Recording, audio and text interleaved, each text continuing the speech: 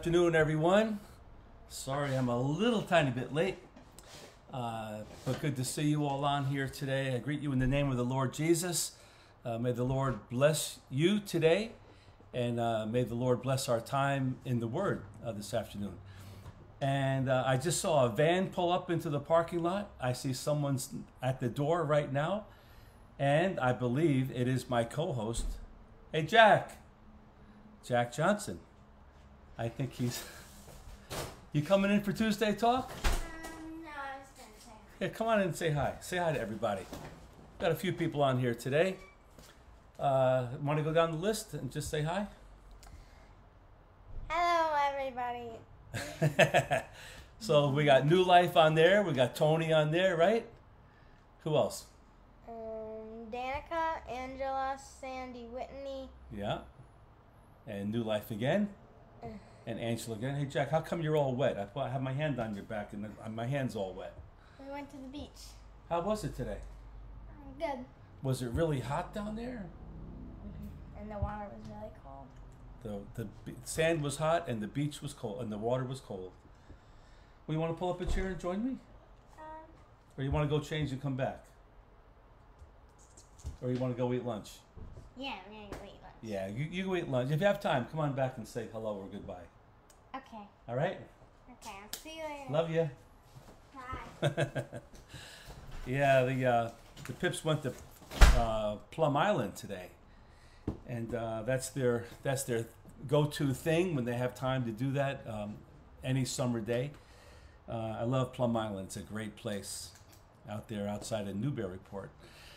Anyway, uh, how's everyone doing? Good to see you here.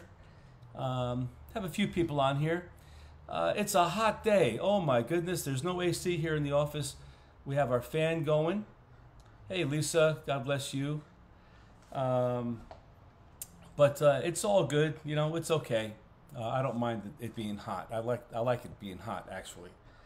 Uh, so I'm going to open up with a word of prayer, and then we'll get into a little teaching today. Okay, so let's go to the Lord. Dear Father, Lord, we love you today. Uh, we thank you for your grace and your mercy, Lord. Thank you for your goodness to us.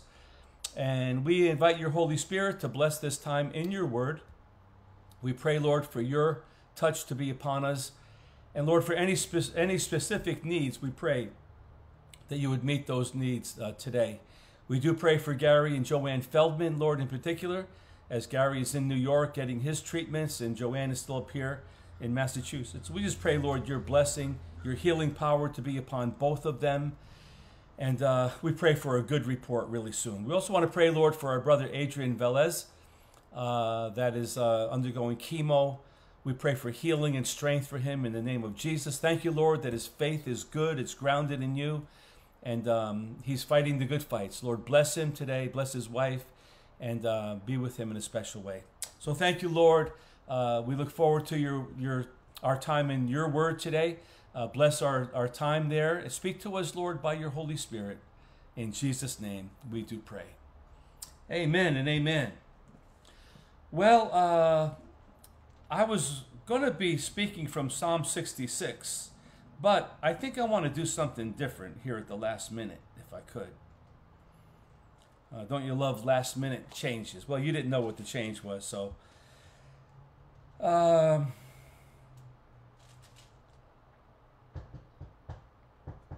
I want to go to James chapter 3.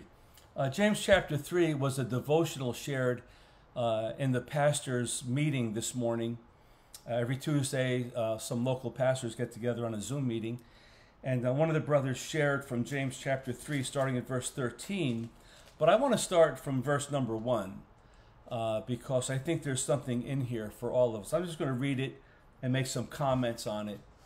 Uh, if we have time, we'll go over to Psalm uh, one, uh, Psalm 66 as well. But anyway, uh, James chapter 3 says, My brethren, let not many of you become teachers, knowing that we shall receive a stricter judgment.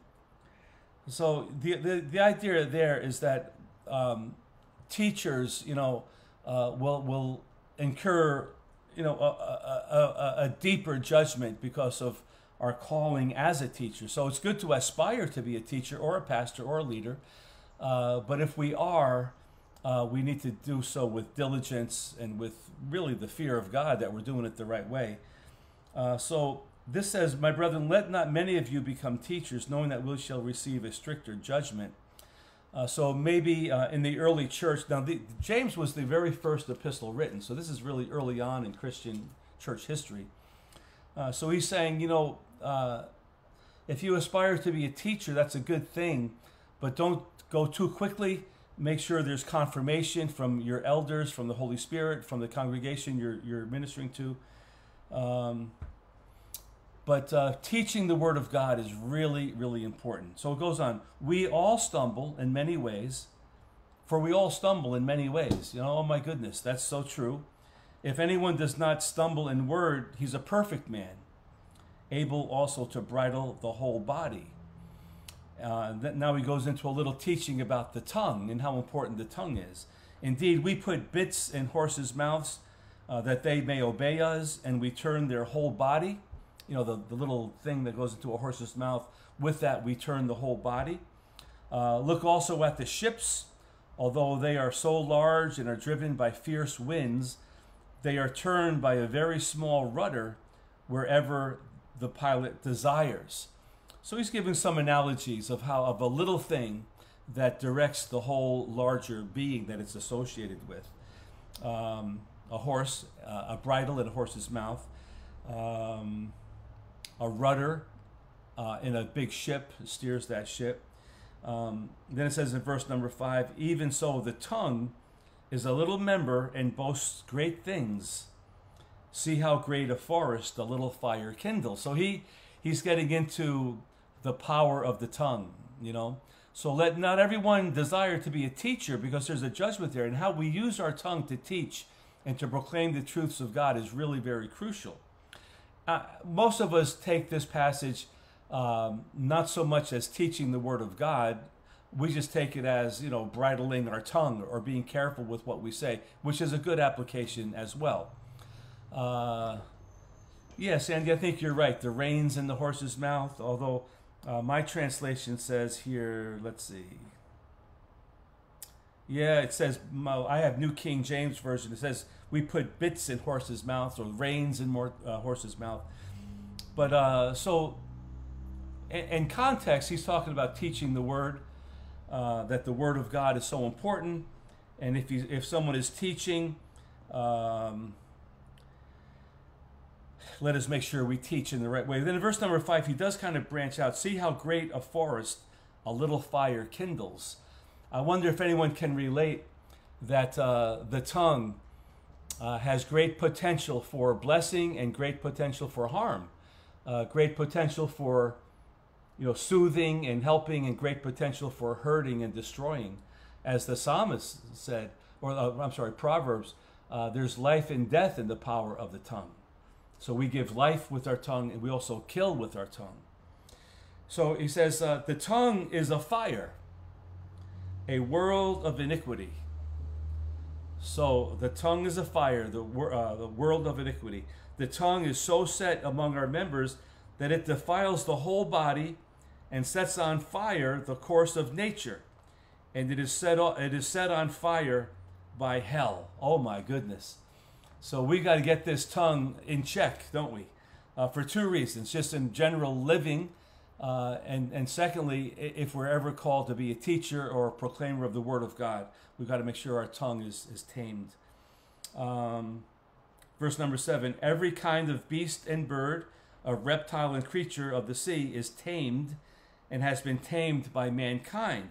But no man can tame the tongue. It is an unruly evil full of deadly poison. But let me just make this a clarification here. No man can tame the tongue, but God can. And as we surrender ourselves to God, he tames the tongue. He tames our spirit. He tames our mind. He tames our eyes. He tames everything about us. Uh, he brings us into submission. Uh, 1 Corinthians chapter 5 talks about the love of God constrains us, puts us together, and makes us usable for the kingdom of God. Um, I like to think of the Christian experience as uh, a wild buck. I, I, read this a long time ago that Native Americans, I, I believe it was, uh, back in the old days um, would capture these wild horses, and the wild horses were absolutely beautiful and strong and powerful and, and great to look at, and uh, had they had great potential. But they weren't of any use because they were wild. And what they would do was they would dig a big hole in the ground and fill it up with water, and it would become muddy. And uh, they would somehow coax that horse into that pit of water, and it would struggle, you know, the whole time. It would try to get, and it couldn't get out. Um, and after hours, I'm not sure how long, but after a time, uh, that horse would be broken. It would be broken, and uh, meaning that the the will of the horse was changed into being wild to being submissive to the owner. And so then they would take the horse out, and then the horse was valuable and good and, and put to good use. Uh, in the same manner, uh, we uh, come to the Lord with a, a, wildness in us, a wild streak in us, uh, whether it's our behavior, our attitude, our thoughts, our words, our deeds. Um, and, and the Holy Spirit is, is continuing, constantly trying to tame us and get us more submissive to the Lord.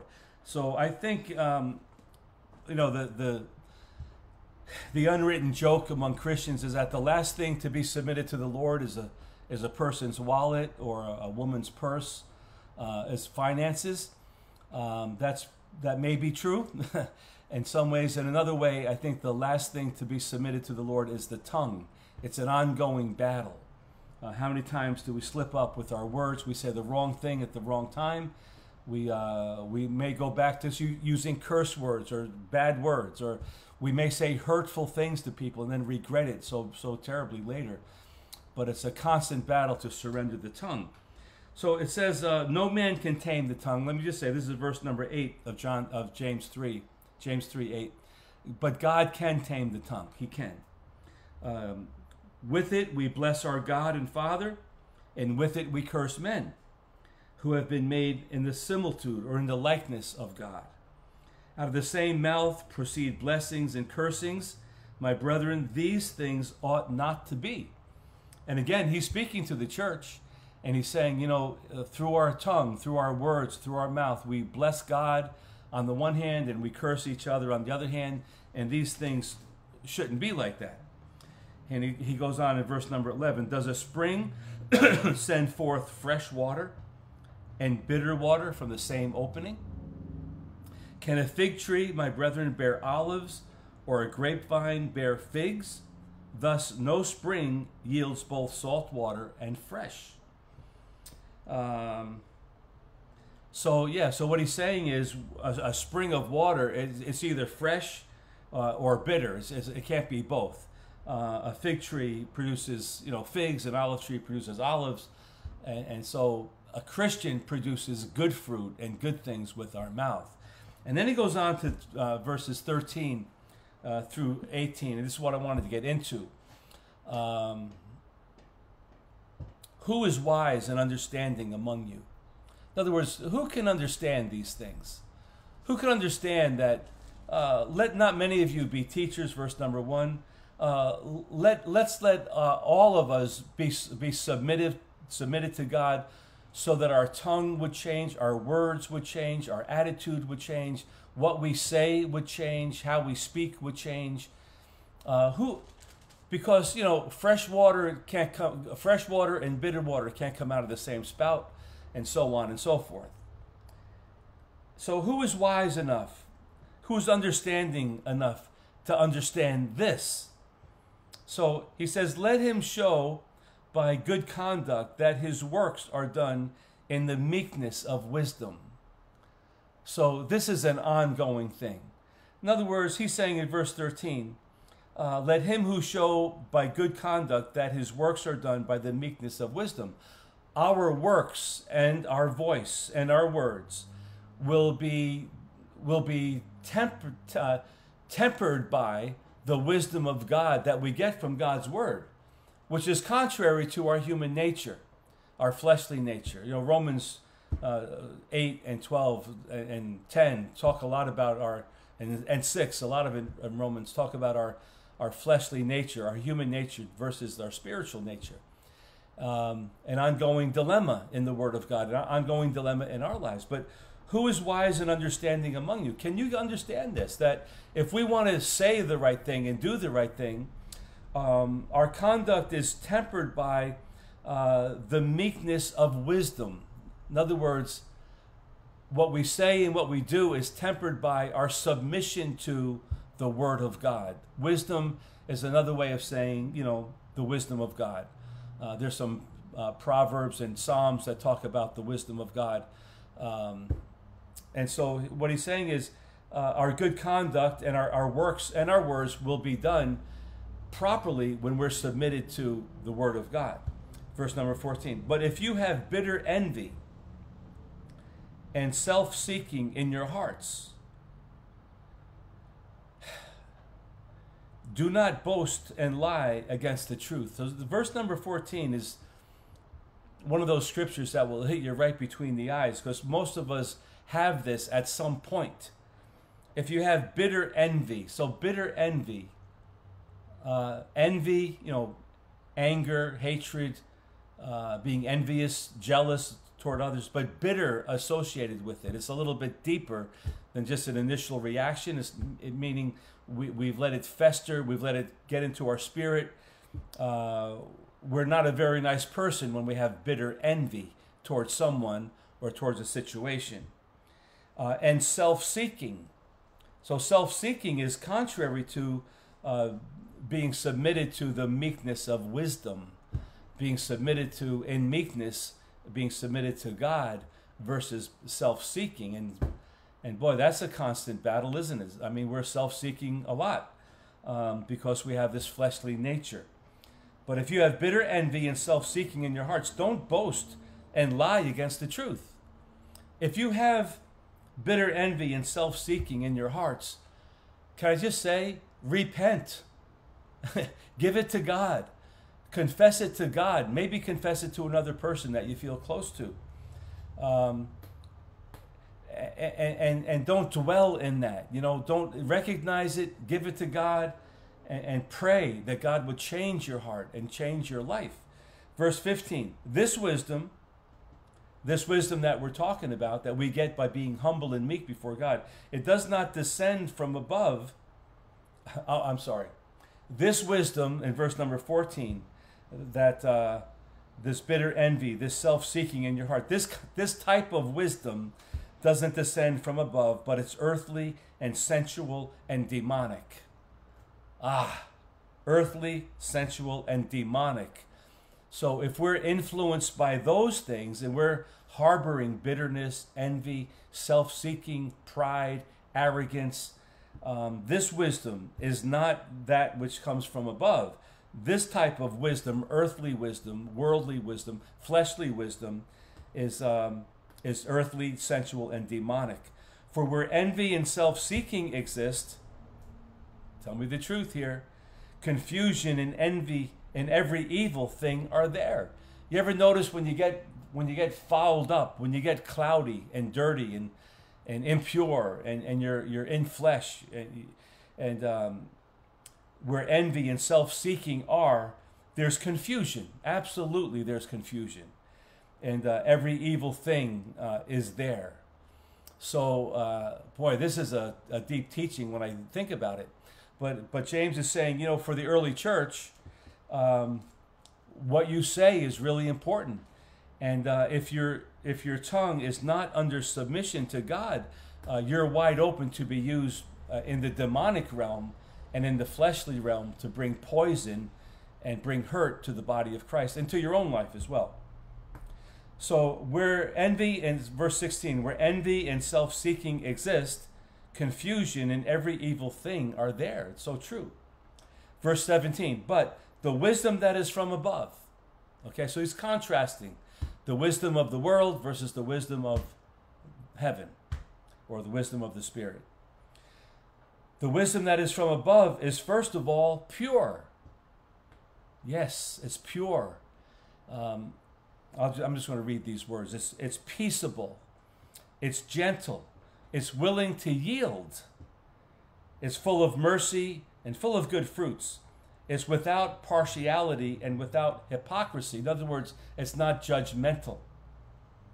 And then he concludes this by saying, Now the fruit of righteousness is sown in peace by those who make peace.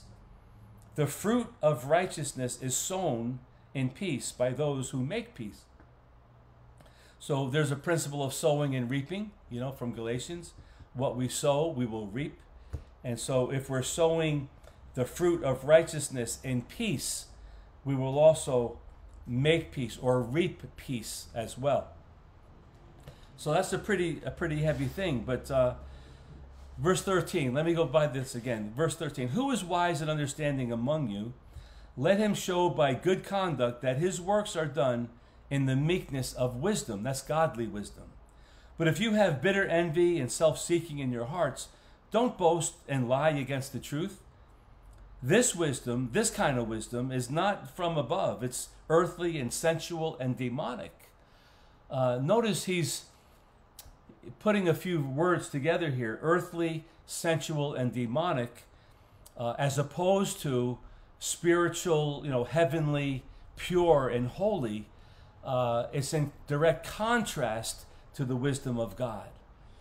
And so he says, where envy and self seeking exist, confusion and every evil thing are there. And it's so true. If you ever walk down that road, you know that when you're not in a good place with God in certain areas, oftentimes confusion comes in. You can't discern clearly the will of God. You can't discern what you should be doing because your spirit is clouded by the presence of uh, evil, demonic forces, fleshly forces, and so on. Uh, and then he says, But the wisdom that is from above is pure and peaceable and gentle and willing to yield and full of mercy and good fruits without judgment and partiality and without hypocrisy. Now, the fruit of righteousness is sown in peace by those who make peace. So, if we want to, if we want to have the fruit of righteousness, sowing it in peace, we got to be on the right track with God, and that we'll reap that peace back to us. Hey, Jack, you joining me for a minute? All right, good. Why don't you sit right here, and I want you to read a scripture while I'm getting another chair. Okay. Uh, let me see. Galatians chapter, uh, Galatians chapter 5. Yeah, 5. Uh, we're going to read Galatians chapter 5, uh, verses 16 down to 25. So 16 to 25. Jack's going to start reading while I get another chair. Jack, why don't you sit right here? Move that down a little bit. And I'll be right back. Okay, to 22. Uh, I think 25. Okay. I say then, walk in the Spirit, and you shall not fulfill the lust of the flesh. For the flesh lusts against the Spirit, and the Spirit against the flesh. And these are contrary to one another, so that you do not, so that you do not do the things that you wish. But if you are led by the Spirit, you are not under the law. Now the works of the flesh are evident, which are adultery, fornic- Fornication. fornication, unclean, uncleanliness, Yeah. lewdness, Idolatry. idolatry, sorcery, hatred, contentions, jeal- Jealousies. jealousies, outbursts of wrath, selfish ambitions, dissensions, Heresies. heresies, envy, murders, drunkenness, revelries, and the like, of which I tell you beforehand. Just as I also told you in the times past, that those who practice such things will not inherit the kingdom of God. But the fruit of the Spirit is love, joy, peace, long suffering, kindness, goodness, faithfulness, gentleness, self control. Against such there is no law. And those who are Christ's have crucified the flesh with its passions and desires. If we live in the Spirit, let us also walk in the Spirit. All right. That's a lot of information, isn't it, Jack? But thank you for reading that. So there's there's the flesh and there's the spirit. and the two are at odds with each other all the time. Uh, one more thing I wanted to read here. Um, and it's in Galatians chapter 6. It says this um, Let him who is taught the word share in all good things with him who teaches. Do not be deceived. God is not mocked, for whatever a man sows, that he will also reap. For he who sows to his flesh will of the flesh reap corruption, but he who sows to the Spirit will of the Spirit reap everlasting life. And let us not grow weary in while doing good, for in due season we will reap if we do not lose heart. Therefore, as we as we have opportunity, let us do good to all, especially to those who are of the household of faith. So, going back to James chapter 3, um, the tongue is, a, is an unruly uh, vessel. We need to bring our tongue into, into submission to God so that God would use our tongue to bless people with our words, with, our, with the Word of God, and with our words of encouragement and blessing. So, how you doing, Jack? Good. What'd you have for lunch? Didn't have lunch. You didn't have lunch yet? No. You gonna have it right after this? Hey, what's going on this afternoon? Um, at one o'clock or so, we're gonna have swimming lessons. Swimming like yesterday? Yeah. Wow, I, I watched the Pips in their swimming lessons yesterday, and uh, they did so good. They swam the whole width of that pool. It was that was enormous, wasn't it? Uh, that was a, I thought it was a pretty long way to swim all that way and then back again several times. But anyway, um, tell us about Plum Island real quick. The Sand was really hot, Yeah, and the water was cold. yeah, Did you go in for a long time? yeah most of the time. Yeah. Well, good. Did you lay out and get a suntan? Were you running around the whole time? Yeah. Did you climb on the rocks? Mhm. Yeah. Was it crowded today? Not really, but there were people. Yeah. All right. Well, anyway, it's 1228. We got to wrap it up. The word for today is surrender your tongue to the Lord and uh, let your tongue be guided by the Holy Spirit so that you could be a blessing to people. What you say, how you say it, is really, re- really very important. Um, if your tongue is not producing good fruit, uh, you may want to check and see where your heart is. The- Jesus said, "Out of the abundance of your heart, uh, I'm sorry, out of, yeah, out of the abundance of your heart, the mouth speaks." So whatever is in our heart does come out, and uh, we want to make sure that what comes out is good and holy and wholesome. Amen. Well, um, I'm going to ask Jack to say a little prayer, and then I'm going to pr- pray, and then we'll sign out. Jack, would you close us out in prayer? Okay.